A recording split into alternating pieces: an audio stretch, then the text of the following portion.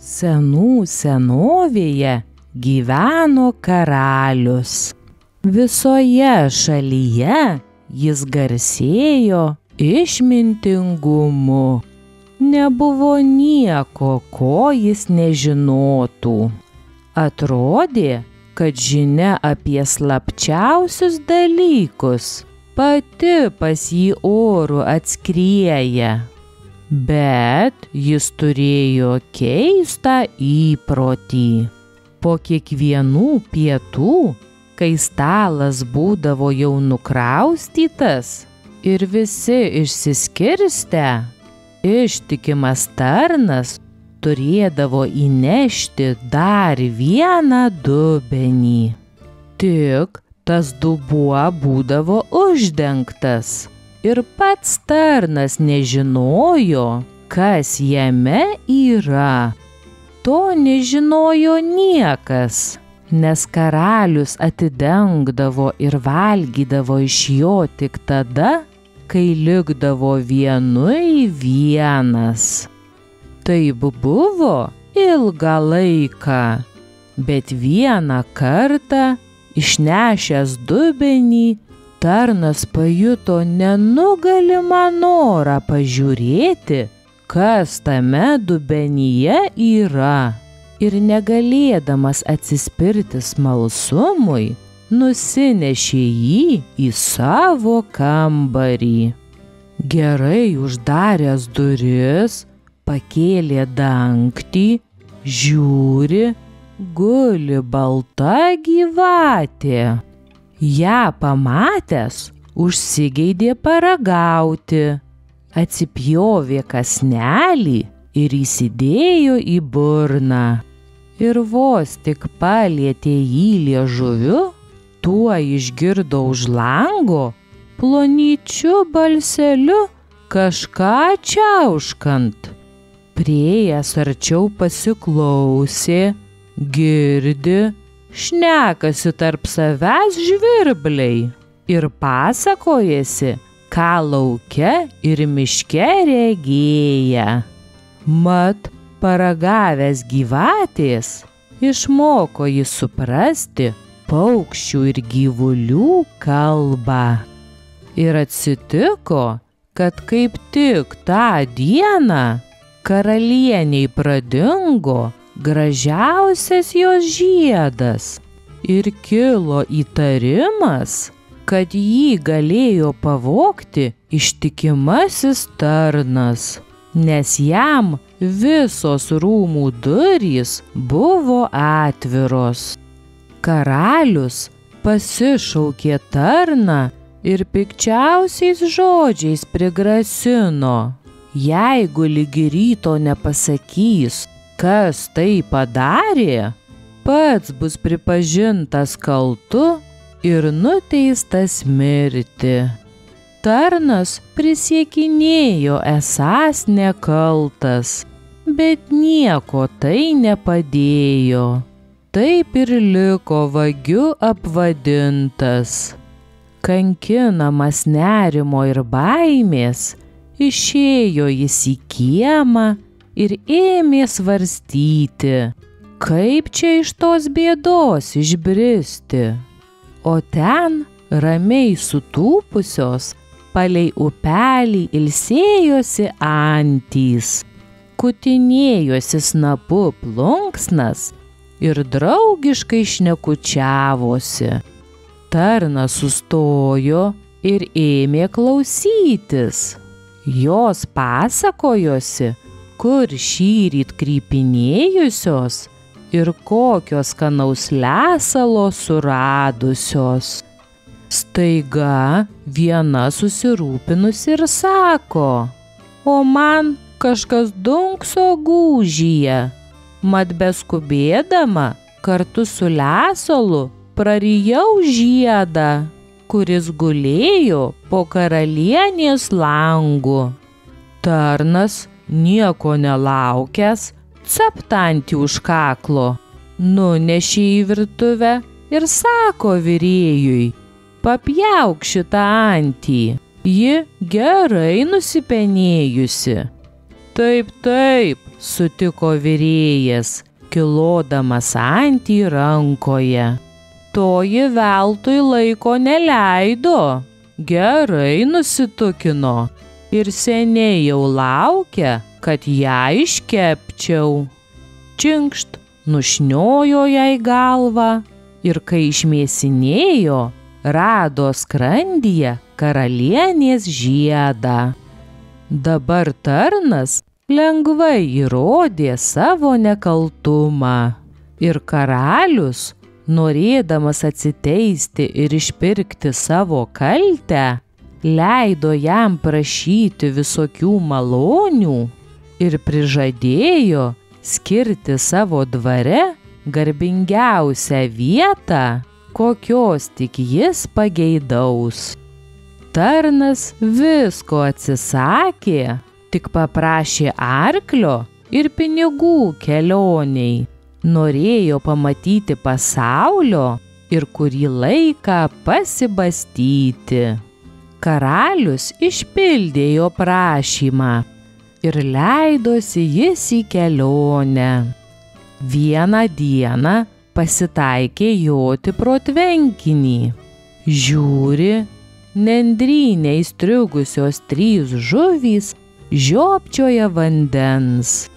Nors ir sakoma, kad žuvys nebylės, vis dėlto jis išgirdo jų skundą, kad šitaip niekingai reikėsia joms žūti. O kad buvo geros širties, tai nusėdo nuo arklio ir paleido visas tris atgal į vandenį. Žuvys ėmė šokinėti iš džiaugsmo, iškišo galvas iš vandens ir sušuko. Mes tavęs neužmiršim ir atsilyginsim, kad tu mus išgelbėjai. Joja toliau, pajojo kiek ir staiga jam pasirodė, kad iš smėlio po kojomis sklinda kažkoks balsas. Įsiklausė ir tikrai skundžiasi skrusdėlių karalius. Ak, ir kadagi žmonės su savo neviekšlomis gyvuliais liausis mums drumstę ramybę. Štai ir dabar tas kvailas arklys be gailesčio trempia kanopomis mano paderme. Jaunikaitis pasuko savo arklį į šalikelę ir skrusdėlių karalius sušuko, mes tavęs neužmiršim ir atsilyginsim. Jojo, jojo ir prijojo gyrę. Žiūri, varna su varnienė tupi prie lizdo ir mėto savo vaikus žemyn. Neždinkitės nenaudėliai, rėkia jie. Šeriam, šeriam ir vis jums negana. Jau esat nebemaži, patys galit prasimaitinti. Vargšai jaunikliai guli žemėje, plasdena, plaka sparnais ir šaukia. Ak, nelaimingi mes vaikai, kaipgi mes patys prasimaitinsim, jeigu dar skraidyti nemokam. Nieko kito nebelieka, kaip tik mirti iš bado. Tai išgirdęs gerasis jaunikaitis nulipo nuo arklio, nukirto jį kardu ir paliko varniukams kapoti. Tie pristraksėjo, pasisotino ir sušuko. Mes tavęs neužmiršim ir atsilyginsim. Ir gavo jis toliau savom kojom keliauti. Ėjo, ėjo ir priejo didelį miestą. O ten gatvėse didžiulis triukšmas ir baisi maišalynė. Atjojo raitelis ir pranešė. Karaliaus duktė ieškanti savo vyro, bet jeigu kas norys jai pasipiršti, turys atlikti sunkę užduotį. O jeigu net liksęs, galvą palydėsęs.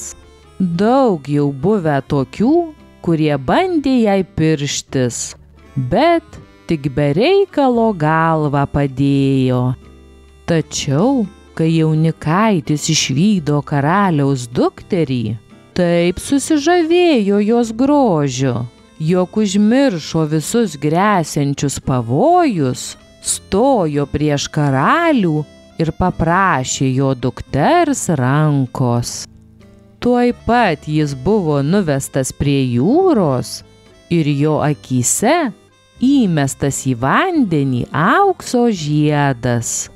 Paskui karalius liepė jam tą žiedą iš jūros dugno ištraukti ir pridūrė, jeigu išlipsi be jo į krantą, kas kartą būsi vis mėtomas ir mėtomas atgal, kol bangose paskesi.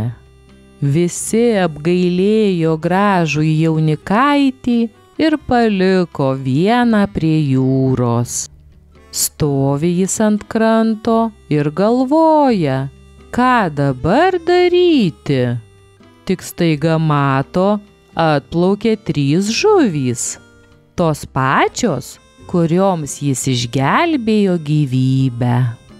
Vidurinė atnešė apsižiojusi keukutą padėjo ant kranto prie jaunikaičio kojų ir kai jis tą keukutą atvožė, žiūri, jame aukso žiedas begulys. Nesitverdamas džiaugsmu, nunešė žiedą karaliui ir manė, kad dabar jau gaus pažadėtą atpildą. Bet kai išdidžioji karalaitė sužinojo, kad jis nelygaus jai luomo, atsisakė už jo tekėti ir pareikalavo atlikti dar antrą darbą. Išėjo į sodą ir pati savo rankomis išbarstė į žolę dešimt maišų sorų. Kad lygi ryto kol patekės saulė, jos visos būtų surinktos, tarė ji, ir kad netrūktų ne vieno grūdelyčio. Jaunikaitis atsisėdo sode ir ėmė galvoti, kaip jam tą darbą atlikti. Sėdi liūdnas ir laukia, kol išauš rytas ir ateis jo mirties valanda. Bet kai pirmieji saulės spinduliai apšvietė sodą, žiūri, stovi šalia vienas kito visi dešimt maišų pilni pilnutėlaičiai ir netrūksta nė grūdelyčio. Tai skrusdėlių karalius atėjo naktį su tūkstančių tūkstančiais krusdėlių ir dėkingi vabalėliai kuo rūpestingiausiai surinko visus sorų grūdelius ir sunešė į maišus. Karalaitė pati atėjo į sodą ir nustebo pamačiusi, kad jaunikaitis padarė, kas jam buvo sakyta bet ji ir dabar dar negalėjo palenkti savo išdidžio širdies ir tarė. Nors jis ir atliko abi užduotis, vis tiek nebus mano vyras, kol net neš man obolio nuo gyvybės medžio. Jaunikaitis nežinojo, kur auga gyvybės medis bet vis tiek leidosi į kelionę. Eis, eis, kol kojos neš, bet kad gyvybės medį rastų, netikėjo. Kai jau buvo perėjęs tris karalystės, vieną vakarą priejo gyrę. atsisėdo po medžiu, gulsis pamiegoti. Tik girdi, šakose kažika sušlamėjo ir plast įkrito jam į delną aukso obuolys.